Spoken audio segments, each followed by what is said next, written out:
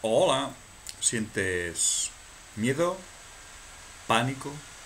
¿Te preocupa algo? Hoy te voy a hablar de este de aquí, de lo que hay aquí dentro, del cerebro. Esto de aquí. Bueno, más o menos. ¿Sí? Algo parecido a esto.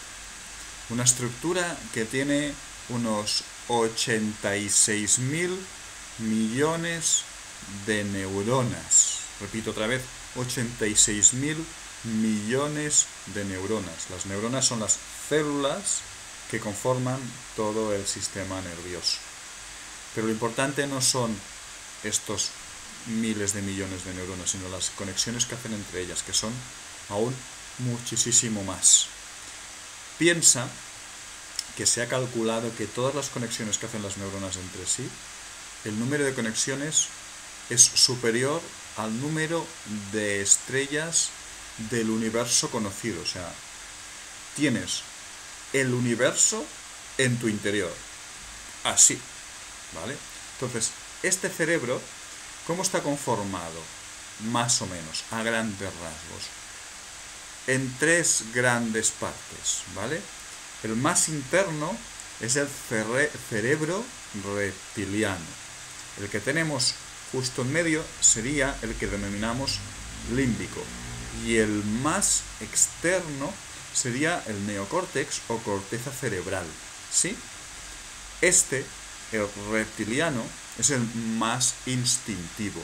El que nos da el instinto de conservación de, uy, qué miedo, me voy a proteger. Uy, que viene el lobo, me voy, o me, voy o me defiendo, pero es, muy instintivo. Tengo hambre, voy a comer. Oh, una hembra, un macho, a por él, a por ellas. Es, uh, ¿no? Instintivo, ¿no? Pero mm, con los años, porque este es el, más básico, es el que tenían los, los animales cuando aparecieron los primeros animales en la Tierra. Los reptiles, por ejemplo, por eso se llama reptilianos, se llama reptiliano, pues actúan así, ¿no? Pero cuando un ser evoluciona un poco más, entonces ya aparece el cerebro límbico, este que está justo aquí en medio.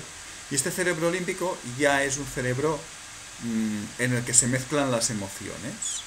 es un cerebro muy reactivo en relación a lo que yo siento, al miedo, a la alegría, a la rabia, a la pena, a la preocupación excesiva. Y todo eso va a afectar también después a estas interconexiones de estos 86 mil millones de neuronas. ¿sí? Y además este cerebro, el, límbico, el emocional, también se encarga de proteger el ego. ¿Qué es el ego? Aquello que me conforma mi personalidad. Una personalidad que se generó los primeros seis años de mi vida.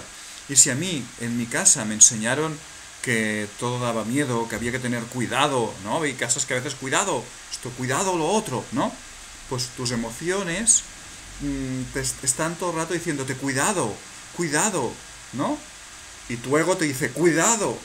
Pues eso ya te encoge. Pero después, si vamos un paso más allá y hablamos del neocórtex o la corteza cerebral, este es el cerebro más evolucionado y es el que nos permite una actividad más creativa. Por eso, para liberarnos de toda esta parte más instintiva y más emocional, la mejor manera es siendo creativos. Y la creatividad no solo son personas importantísimas del mundo mundial que hacen grandes cosas y grandes creativos. No, no, no, no, no.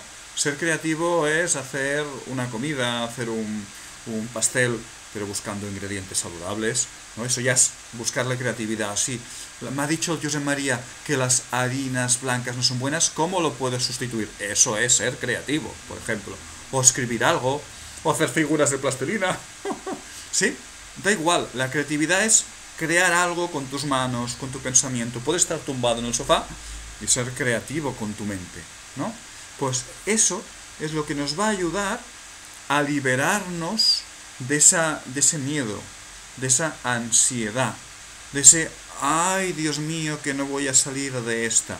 Y eso después en todo cuerpo humano tiene consecuencias muy positivas si soy capaz de abrirme a esta creatividad. De hecho, por ejemplo, algo que funciona muy bien en relación al cerebro y la creatividad es pues la música. La música eh, en este libro, por ejemplo, que os recomiendo muchísimo, la música distrae de este señor Jordi Jauset, que, conozco y que además eh, ha estudiado neurociencias, explica muy bien en este libro qué efectos tan positivos tiene la música, tanto crearla como escucharla, sobre nuestro amigo el cerebro. Y también os recomiendo, por ejemplo, otro libro muy interesante, que tiene tres o cuatro años, mira, es, del año 2000, en este caso, este año, este libro es del año es del año 2017, apareció en España en el 2017, ¿vale?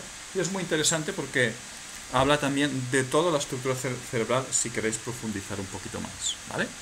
Así que con esto os dejo que seáis creativos con vuestra mente y que eso os ayude a liberaros de estas emociones angustiantes de miedo y de ansiedad que a lo mejor, quizás, alguno de vosotros, alguno de vosotras, podéis estar sintiendo en estos días de confinamiento general. Un beso.